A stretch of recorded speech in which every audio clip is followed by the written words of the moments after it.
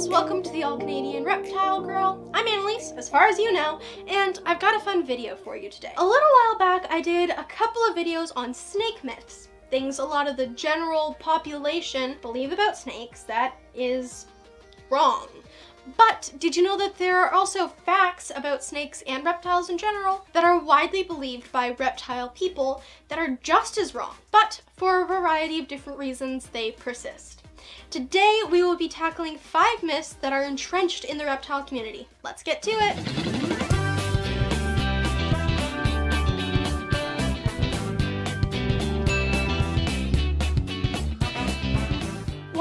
Some misconceptions, some of which are pretty big and could affect how we care for our animals, persist in a community of well-informed reptile keepers? Well, if you ask me, and since it's my video, I'm gonna assume that you did, I think that many of these myths actually started out as the best information we had at the time and have since fallen out of date. Trusted voices, unaware of new information, continue to share what they know and it gets passed down to the next generation of enthusiasts as fact. It just takes a bit of time to shift away from entrenched thinking. Okay, first up is actually myth I did include in my regular reptile myths, but I'm surprised at how often I hear this in well-produced documentaries about snakes, or from reptile educators on YouTube. I've even seen zoo presenters fall victim to this one.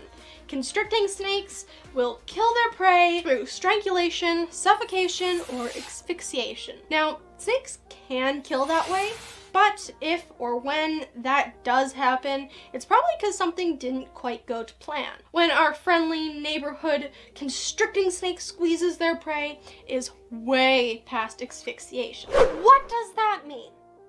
Well, let's define what asphyxiation is. Asphyxiation is the process of being deprived of oxygen resulting in unconsciousness and or death. There are four types of asphyxiation. Suffocation, strangulation, mechanical asphyxia, and drowning. Drown... There are four. The fourth one's drowning. Without new oxygen being put into the blood that the heart and lungs are sending to the brain, there will be less and less oxygen until eventually unconsciousness occurs and then it dies. A snake squeezing around the prey animal's body would certainly be able to prevent them from breathing, but it's going to take a little while for death or even just unconsciousness to occur from lack of oxygen. That's time the snake's prey could use to bite and scratch and escape as they fight for their lives, putting the snake in very real danger. This is why snakes bypass the whole asphyxiation thing and go right to stopping any blood at all, oxygenated or otherwise, from getting to the brain a squeezy snake hug exerts so much pressure that it overwhelms the circulatory system and the heart just cannot pump blood to the brain. Unconsciousness occurs in seconds and death very, very soon after. Signs of struggle or other types of movement once under full pressure are usually reflexes or a function of nerve impulses that just didn't get the memo that it's game over. Now, occasionally a prey animal is able to escape after being squeezed like this. Maybe the snake is startled, or one of those twitchy nerve movements caused a bite or a scratch that caused the snake to let go. And the prey is free to go about their day. No harm, no foul. Yeah, not so much. You see, the squeezing and then releasing of that enormous pressure will cause potassium levels in the prey's bloodstream to spike drastically, and the prey animal may slip away momentarily, but will almost certainly succumb to a potassium-induced cardiac arrest very quickly, and may still end up making a meal for that hungry snake. Pretty gnarly, eh? My number two entrenched myth is that snakes are antisocial, unintelligent creatures with no emotion. Lots to unpack here. In my first draft of this script, I had all sorts of information on the history of studies on snake intelligence, and although it was very fascinating, it was also lengthy. Very lengthy. So I've decided to do a separate dedicated video all on snake intelligence. Be sure to hit subscribe and click the notification bell so you won't miss that when that video comes out. I imagine that one will invoke an active comment section, so as for today, I'm just gonna keep it very high level. Here goes. Snakes have long been thought to be pretty unsophisticated, and it's not hard to understand why. They eat infrequently, so bribing them with food doesn't really work. Once they find an ideal spot at the temperature that they like, they often just kind of stay put. So there are definitely challenges in finding motivations to leverage to properly test their intelligence. In fact, for several hundred years, there were only a few studies done on reptile intelligence, which just happened to coincide with a lot of entrenched bias on the inferiority of reptiles. It's a whole if you judge a fish by how it climbs a tree analogy, you know? Thankfully, scientists pushed through and there has been a huge increase in the number of studies on reptile intelligence. In the last 30 years, there have been dozens conducted, many times the number that had been done previously in the last 200 years. Through these studies, we now know that snakes and other reptiles have brains that are not dissimilar in structure to our own, complete with the components and chemicals that govern emotion. These studies show that snakes do not operate solely on instinct as previously thought. They are thinking, feeling creatures who exhibit spatial learning that rivals the learning abilities of birds and rodents. Older and younger snakes differ in how they gather and decipher information about the world around them, meaning that they learn from past experiences and are able to plan. How well they do all this differs between species or even individuals. For example, Hobbs, my Macklot's python, is super smart and has demonstrated some pretty impressive problem solving chops. My hognose snake Maggie, on the other hand, has two brain cells that are constantly competing for third place. But she's really, really cute. It is pretty common knowledge that there are some species of social snakes, garter snakes being the most well-known example, but did you know that there are snakes that hunt in packs, planning and coordinating ambushes, or snakes exhibiting parental behavior, or even displaying gift-giving and grooming behavior, all things that an animal operating solely on instinct would be incapable of. I will talk about all this in more detail in the reptile intelligence video, but in the meantime, I'll have links below if you'd like to do some research for yourself. Again, hit subscribe if you haven't already and turn on the notification bell so you won't miss when that brainy snake video comes out. So why do these myths about snake intelligence and emotion persist even amongst veteran keepers and breeders? The simplest and what I think is the most common reason is what I said at the top of the video a lot of folks are simply not aware that new information is out there. Everyone knows snakes aren't smart, so why challenge it? But I also think that there are some who resist this idea for selfish reasons. Once you acknowledge that snakes are more sophisticated than you thought they were, you might have to reassess how you're keeping your snakes or even treating snakes in the wild, disrupting a comfortable routine or having to spend more money based on new understandings might cause one to consciously or unconsciously dismiss the idea that snakes are more than purely instinctual creatures. Bottom line, snakes are smarter than you think, so let's treat them that way. Yeah. My number three entrenched myth is kind of a two for one. Plastic bins are the best for keeping ball pythons, and plastic bins are terrible and you should never keep your ball pythons that way. Okay, if my experience in the ball python corners of the internet has taught me anything, it is that no matter what I say here, someone is going to lose their noodle. So I'm just gonna accept that and crack on. Please be respectful. So let's say you want to get a ball python and you start doing your research about how to keep them. For decades, the common consensus has been that they should be kept in bins. And you're still going to see that with a lot of folks, both pet owners and breeders using bins and rack systems. But for most other snake species, you'll probably see more glass tanks, wood, or PVC enclosures as the ideal home. So why is it that so many people feel that ball pythons have to be kept in bins? The logic is that as mostly nocturnal ambush hunters that spend most of their time hiding in burrows, they don't climb and they don't venture far from their preferred ambush spot. A nice cozy bin is the best way for us to replicate this and that keeping a ball python in a larger enclosure actually creates stress and is bad for your snake. The problem is that this isn't true. The fact that ball pythons can live long, stress-free lives in a minimalistic bin is more a testament to their hardiness and adaptability rather than it being the best setup. Wild ball pythons regularly explore their environment, and that movement is not limited to the forest floor. Males in particular are semi-arboreal, spending a lot more time in the trees than most people think. There are exceptions, of course, but an enriching enclosure with ample room, good places to hide and lots of things to climb can be an ideal home and in my opinion is a much better option than a bin for most ball pythons. So bins are bad then? No, not at all. Well, not if they're done correctly. The biggest stressors that can negatively affect a ball python is incorrect temperature and improper humidity. You get those right, and you're in pretty good shape. A plastic tote is probably one of the easiest enclosure types to maintain both of those variables. With that taken care of, and as long as they have enough room to move around and access to food and water, ball pythons, and many other snake species for that matter, can live in bins feeling safe and secure their whole lives. Now, there's not usually a lot of room for enrichment in these types of enclosures, which is the main drawback in my opinion. And enrichment can be very important to pet snakes. Studies have shown that snakes with lots of enrichment opportunities are more adaptive. They are better able to manage new situations without getting stressed out, and exhibit improved intelligence over snakes without enrichment. Having an enriching home is a great way to provide that extra stimulation, but it's not the only way. Ball pythons kept in simple plastic bins can still get the required enrichment. You just need to give it to them outside of their home. Let them explore outside of their enclosure regularly. Hang out and coil up and explore furniture or your shoulders.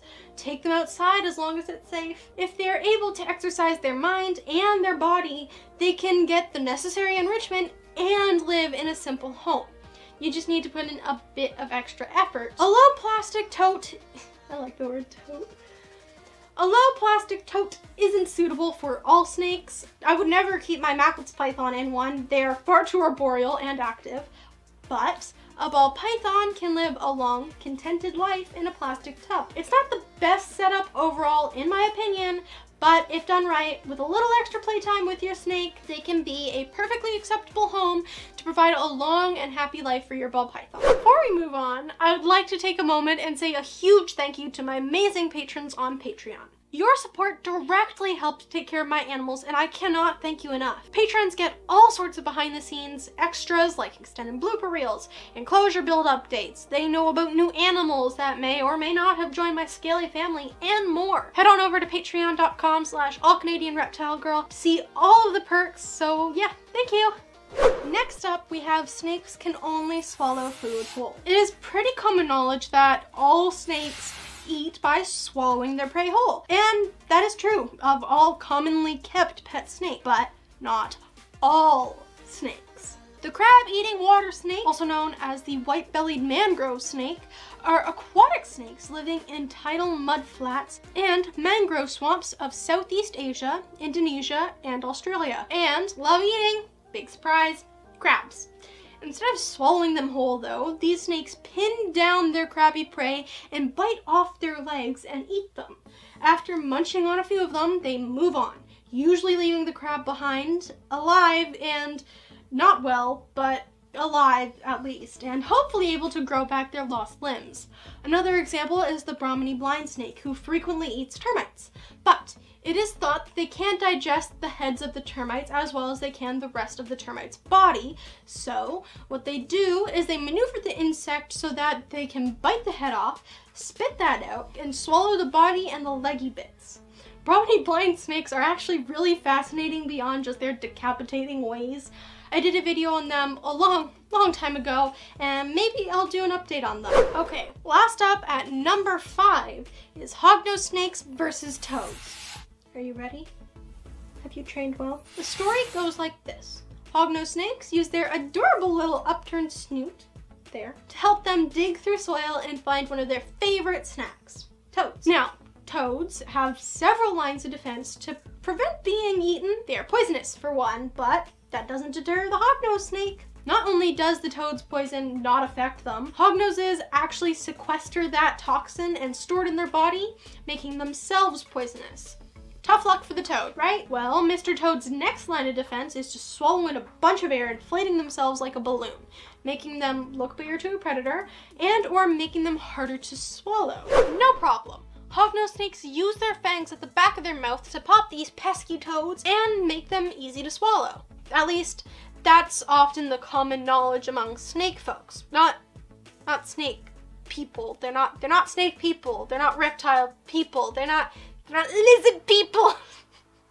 they're they're normal people who are in the reptile. You get it. You'll see this all over the internet on just about anything talking about hoggies. Nature sites, museum sites, state DNR sites. Uh, you may have even heard this from about all reptile YouTubers. I've seen it in hognose care guides, read reptile magazines having this. I've even heard a hognose snake breeder at an expo tell a prospective customer that hognose snakes do this. Lots of knowledgeable and credible people know all about hognoses popping toads, but they're all wrong. Sorry, everyone. It's not hard to understand why though. Hognose snakes eat toads, toads puff up. Pointy things pop puffy things. Hognose snakes have pointy things in the perfect place to pop puffy toads. It's a very tongue twisty sentence. And that's why naturalist Percy A. Morris asserted that hognose snakes pop their toads way back in 1944 and it became part of hognose snake canon. It wasn't until 1976 that someone thought to actually check and see if that is true. James C. Kroll did a fascinating study on how hognose snakes hunt and feed. It covered their types of prey and hunting behavior for each, the unique way that they rotate their jaw to manipulate their prey, how they envenomate, the structure of their teeth, how their venom is delivered, and the potency and yield of their venom, you name it. In this study, he concluded that the rear fangs serve two important functions deliver venom and physically manipulate their prey. He also demonstrated that hognoses were incapable of deflating a toad using their rear fangs during normal feeding. Kroll concluded that to pop a meal-sized toad, a fang length of 1.38 centimeters was required. Hognose snake's fangs are between 0.3 and 0.5 centimeters. Basically, hognose fangs would need to be about three to four times as long as they actually are to pop a toad. So, while science has known for almost 50 years that this fun fact about hognose snakes is untrue, that hasn't disrupted the common knowledge that was already ubiquitous, at least amongst hognose snake folks. And because there really is no harm in believing this myth, I mean, the truth and not knowing the truth is really not relevant in any way. It doesn't affect how we care for them in captivity or how we protect them out in the wild, and the outcome is the same for the toad. There really is no impetus for anyone to really question this tidbit. It just kind of gets passed down. Heck, if it wasn't for a SciShow video I saw on Sublime Snakes, I never would have known any different myself. But, uh, yeah, hognoses don't pop toads. So, there you have it. My top five myths entrenched in the reptile community. I kind of wonder how many things we know about reptiles today that will be completely out of date a few decades from now. What do you think? Did you know any of these myths were just that? Myths? Were there any you believed as fact? I would love to hear what you have to say and if there's anything different that you would have included. Please be respectful to each other when discussing this in the comments as some of these points can be a hot topic at times. Thank you again to my patrons on Patreon and thanks to all of you guys for watching and until next time remember to nurture all nature. Bye! He's like tickling the back of my head, the back of my scalp.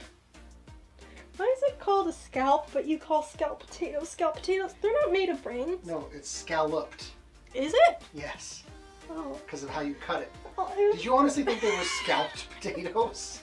I thought they were called, yeah. Oh, it's a good thing you're pretty. really? It's mice, bunnies, guinea pigs, hamsters, they all want cuddles. Is it such a stretch that to think that well, then pick which one you want. You not to yell. That's not gonna happen. Use your words. I got a word for you right now. Huh, I'm so sweet.